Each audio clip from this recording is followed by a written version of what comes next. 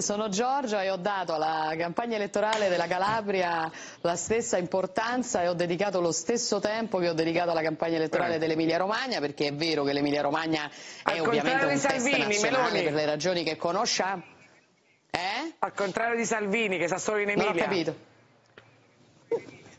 Beh no, anche lui è sceso, devo dire, in Calabria, però in ogni caso, insomma, per me la Calabria è particolarmente importante perché in ogni caso, eh, se poi si guarda al futuro di questa nazione, diciamoci la verità, senza uno sviluppo adeguato del- de- di alcune regioni del sud Italia, prima tra tutta la Calabria, questa è una nazione che non ce la può fare, per cui le elezioni in Calabria sono delle elezioni importantissime e anche oggi siamo qui eh, a fare i nostri giri, come ci siamo tutto l'anno, in una regione che tra l'altro a Fratelli d'Italia dà sempre grandi soddisfazioni. Allora Meloni, la Però fermo un attimo, poi ci torniamo insomma, sulla Calabria e sul Sì. sud perché è un tema importantissimo, però lei capisce bene che oggi c'è il tema del Sì. giorno, che sono le dimissioni di Luigi Di Maio. Lei ha fatto un tweet che io ho qui davanti, Sì. Zingaretti tenta di nascondere il PD, Di Maio si dimette da capo politico del Movimento 5 Stelle, assistiamo alle battute finali di un governo fantoccio nato nel palazzo al solo scopo di non far decidere gli italiani da chi essere rappresentati. Poi Fratelli d'Italia non starà in silenzio, elezioni subito, Lo ma so. neanche un briciolo di comprensione per questo travaglio umano di Di Maio, dopo un periodo così difficile, mollare il movimento, insomma anche l'onore delle armi forse, no? Guardi, l'onore delle armi a Di Maio lo avrei dato se si fosse dimesso da ministro.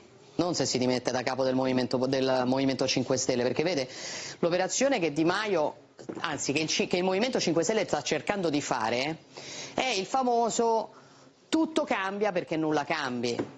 Cioè facciamo finta di cambiare i nostri partiti, per questo l'operazione di Zingaretti sul Partito Democratico la considero abbastanza speculare, cioè noi facciamo un po' di movimento nei partiti, facciamo, ci vendiamo come qualcosa di nuovo e di diverso, così rimaniamo abbarbicati al potere e al governo della nazione.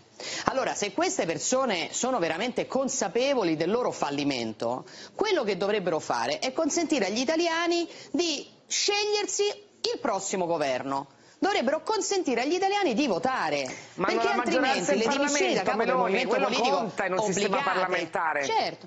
Certo, certo che, beh insomma conta fino a un certo punto, perché conta anche il fatto che il sentimento del popolo italiano sta da tutt'altra parte. eh. Io insisto nel dire che questo, questo fatto che la democrazia parlamentare significa che io con i voti dei cittadini presi dichiarando che avrei fatto A, B e C, poi ci faccio quello che mi pare, cioè l'esatto contrario di quello che ho promesso. Io non sono d'accordo su questa lettura della Costituzione italiana e non sono d'accordo sul, d'accordo sul fatto che invece non sarebbe più rispettoso della. Costituzione italiana sciogliere le Camere e andare Allora mi faccia capire bene, quindi lei mi Poi sta dicendo che cosa accadrà lunedì. Mi scusi per capire bene il suo ragionamento, lei mi sta dicendo che quindi se Certo. il centrodestra dovesse vincere sia in Calabria che in Emilia Romagna, soprattutto in Emilia Romagna perché non ci possiamo nascondere che quello è un voto altamente politico, mentre quello della Calabria è rimasto per il momento un voto Certo. più locale, lei pensa che il Presidente della Repubblica Sergio Mattarella dovrebbe eh, sciogliere le Camere e dire perfetto, è cambiato il sentimento nel Beh, Paese, prima deve cadere il governo però. Non può Dovete fare una mozione di sfiducia, dovete vincerla. Questo sicuramente Facciamo sì, non è che Mattarella penso che più o meno la sciogliere... No, ma io non Le sono tecniche d'accordo della con questo, Costituzione scusate, le- le non è un tema parlamentare.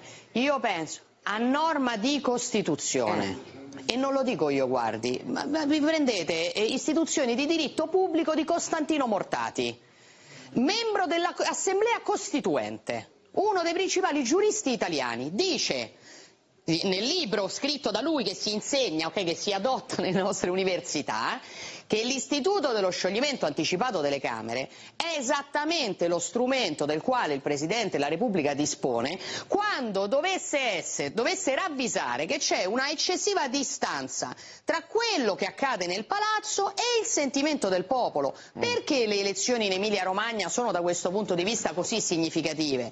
Perché mentre la Calabria è una regione nella quale c'è stata una normale politica dell'alternanza in questi anni, cioè ha governato il centrodestra, ha governato il centrosinistra, l'Emilia Romagna fino a due anni fa nessuno prendeva neanche lontanamente in considerazione Era che potesse mai esserci un centrodestra non vincente ma competitivo. Per cui se anche i cittadini di quella che è la cassaforte della sinistra in Italia dicono che la sinistra la vogliono mandare a casa, ma come altro lo devono dire gli italiani che questo governo non Scusi, lo vogliono? ma quindi se allora lì Mattarella- il Presidente della Repubblica ha uno strumento Ecco, se la vuole. domanda è questa, Questo se Mattarella non Eh. prende prende atto di questo mutato sentimento e non scioglie le Camere, secondo lei sbaglia? Ha un comportamento di parte? Secondo me, eh, io gli, chiederò, io gli chiederò di sciogliere le Camere se dovesse vincere il centrodestra, è quello che chiederò a norma di Costituzione, poi il Presidente della Repubblica, io non ho la pretesa di insegnare il lavoro al Presidente della Repubblica, ovviamente, ma non condividerei una Beh, scelta insomma, diversa, questo l'ho sempre, sempre, dichiarato quello che penso, insomma, no? Ecco, poi ognuno eh, fa quello che ritiene di fare, insomma, io posso dire quello che mi aspetterei io, che chiederò.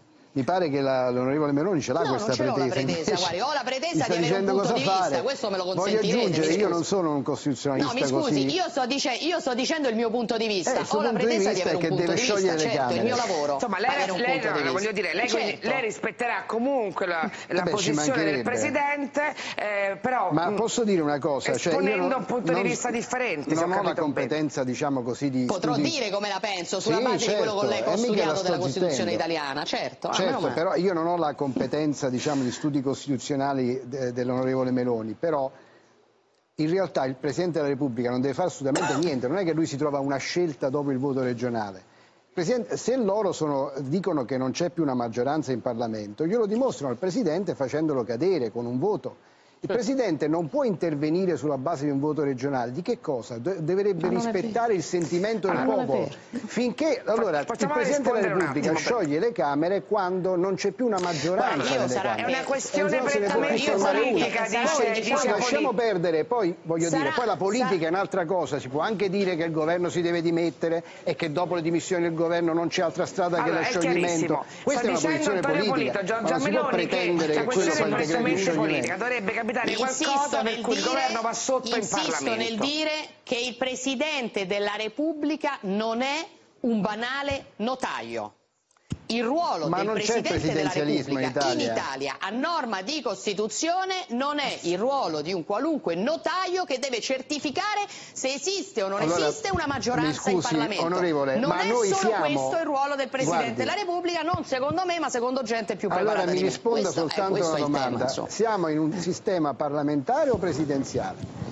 Come si forma il governo? Con una maggioranza in Parlamento, è un sistema parlamentare no? perché e io allora... sono per il presidenzialismo. Ciò non toglie sì, che le ho che detto che, che, a norma non di quello che penso io, okay. ma a norma della lettura della Costituzione italiana sul ruolo del Presidente della Repubblica e dello scioglimento anticipato delle Camere, il Presidente della Repubblica, se ritenesse, potrebbe sciogliere le Camere. Ravvisato che c'è una distanza troppo eh, ampia, siderale, tra il sentimento del popolo e il Parlamento, perché è un elemento di garanzia il Presidente della Repubblica. Serve esattamente per questo. Chiaro? Perché se dovesse sovrano. esserci una distanza troppo ampia potrebbe intervenire. Questo dice, ripeto, Meloni, gente molto più preparata di me. Mi dica una quindi cosa è invece una, da... una lettura della Costituzione che mi sento di condividere. Ma posso portare una cosa invece della politica, perché ho pochissimo tempo. Secondo lei il passo indietro di Di Maio indebolisce questo governo? Cioè lei come la legge, al di là di quello che accadrà in Emilia? Lui il fatto che, come ha detto prima Polito, il Movimento 5 Stelle in questo momento è acefalo e quindi il più grande partito che era rappresentato in maggioranza in questo momento in una fase di grande sbandamento,